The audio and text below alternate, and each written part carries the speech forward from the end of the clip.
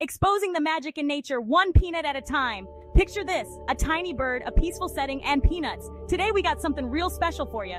Check out this cute little bird snacking on peanuts in stunning 4K. Look at the detail in those feathers. It's like you can almost feel the softness. And watch how it gently takes the peanuts from the hand. It's this delicate interaction between human and nature that just melts your heart. The sun filtering through the trees, the serene background, it's like a scene out of a dream. Can you hear those gentle chirps? It's as if the bird's saying, thanks for the snack, friend. This is the kind of moment that reminds you how beautiful and calming nature can be.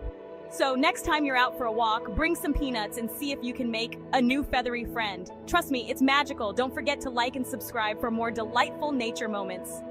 Catch you later.